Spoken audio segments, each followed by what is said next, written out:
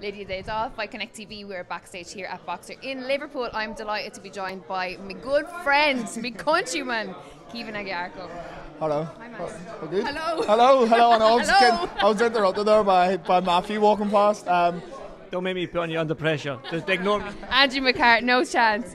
Um, good to see you here. I was saying, literally, I was on my way in and I looked at my Instagram, and there you were at Celtic at the match, and here you are tonight. yeah, do you know, I've had a manic day um, up supporting Celtic in the in the Rangers game today, um, and then straight in the train back back here to support Liam. Um, so it's been a bit mad for me, bit all over the place. But um, yeah, it's great to be back in uh, Liverpool. Obviously, I've, I started camp last week, so um, yeah.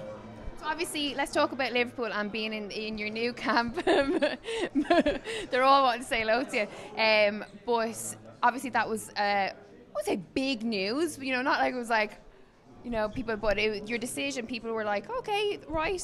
What was the decision? Because we didn't actually speak about it.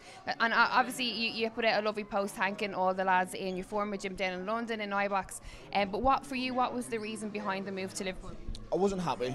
First and foremost, I wasn't happy. Um, Al and Ed are great coaches. Paul, um, Taylor, great coaches.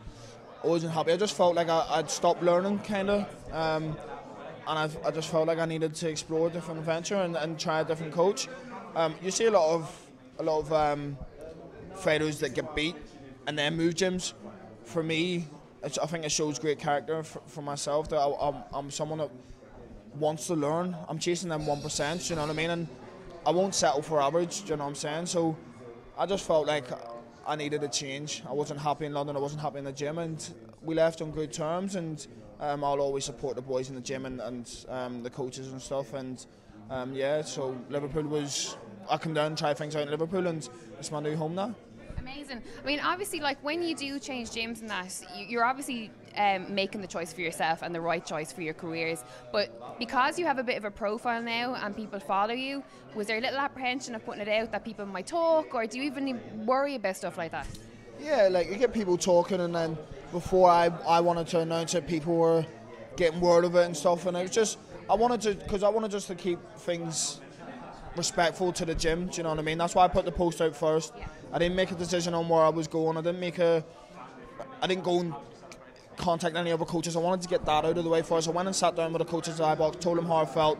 Then I put a post out after my holiday, and then I come up to Liverpool, and, and um, thankfully this was the place for me, or I would have explored somewhere else. But um, yeah, it's one of them ones where everyone's talking, and I just kind of stay away from all that. Do you know what I mean? I focus on the box and let my, my team deal with all stuff like that.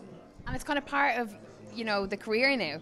It's like one of those things where you kind of have to get used to it. Like people will talk, they'll talk shit, there'll be the Twitter thing. It's just it's inevitable. And you know what? Like, I'm not in boxing to be famous or be a celebrity. I'm in it, in it to be the first Black Irish world champion and make a few quid. Um, and that's just the side that comes with it the fame and people talking and social media and people slagging you off. And you've got to deal with all that, do you know what I mean? But like I say, it's just a part of the game that we're in, do you know what I'm saying? You do a good job at it though. I do alright. I'm still learning.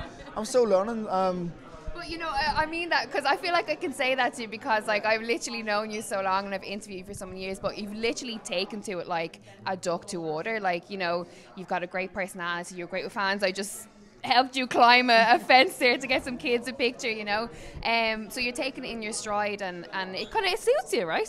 Yeah, listen, it's everything I've dreamt of. Do you know what I mean? In terms of when I was a kid, I wanted to be famous. Right now, no, because I've got a small bit of fame, and it is a lot. You know what I mean? It's a lot. To, it's a lot to deal with when you're trying to focus on fighting and stuff. But listen, I'm, I'm doing all right at it. Um, I'm still learning, but I'm just focused on fighting and winning titles and beating people up. Absolutely. Well, uh, back onto the fighting. Do we know? Do we have a date? Don't have a date. End of October, I've been told. Um, so I'm just working towards that, and I'll be ready for whenever it's it's confirmed. Um, set on colour. Um, yeah. So hopefully end of October.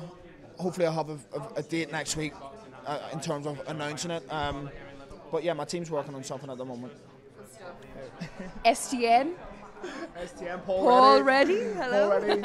um, yeah. So uh, they're, they're working on something, and um, on a big end of the year, Belfast next year has to happen. It has to happen. I, I'm going to be pushing Eddie. It has to happen. I, don't care. Um, Hundred percent has to happen. one million percent. You know. Now that Gary Cully has signed as well, come on. Gary Cully, me. You got Tommy McCarthy if he's still fighting. Um, do you know what I'm saying? Katie Taylor. Do you know, like, you've got three, four Irish fighters there that could, will sell out any venue in, in Belfast. Croke Park would have been perfect for Katie this year. Doesn't matter, she could fight Tom, Dick, and Harry from down the, the street. It's going to sell out, do you know what I'm saying? So, Eddie Hearn, get Belfast. It's got to happen. It's got to It happen. really does. We'll put the pressure on, right? Put the pressure. Tag team and that pressure. uh, but it's before I go. Let's talk about obviously, you know, the whole- you've been at the Celtic match today because obviously with Jamie from Matchroom, a lovely little bromance there. If I don't say my myself, but you know, like how important is the sort of I won't say the football following, but we're starting to see it now that football fans are starting to cross over and really get behind local fighters. So it's a fantastic thing. I mean, imagine if like Celtic fans get behind Caoimhin Agyarko, right? No, just Celtic fans are unbelievable. Um, I think I got like three, four hundred fol- followers a day on Twitter, just let alone for going to the game. But I've always had a good support from Glasgow and um, from Scotland. I've got friends that live there, and they always support me, come and watch my fights, and they've done done so from the from the amateurs. So. Um, some of the Celtic fans also support me, and to, to have them support me, it's unbelievable. Being there today at Parkhead, it was it was an unbelievable atmosphere, and if I can uh, steal some of their fans and make them make them a, a fan of Black Thunder, it'd be it'd be unbelievable. It's, it's different at a Celtics match. Oh, it's different, different gravy. It's I get goosebumps now just talking about it. Like being there today, and it was my first um, derby game, so I called it Old Firm, and I got in trouble for that earlier on, so I had to call it a derby there. But it was unbelievable. Um, and yeah, if, if any of the Celtic fans can come support me, it means so much. And then they can follow Fight Connect TV and we're all in it together. We're all in it together. you know what I'm saying? So yeah. listen, I'll let you go. So good to see you. Good seeing you as always. Always, always, always with fellow countryman Caoimhin Agyarko for Fight Connect TV.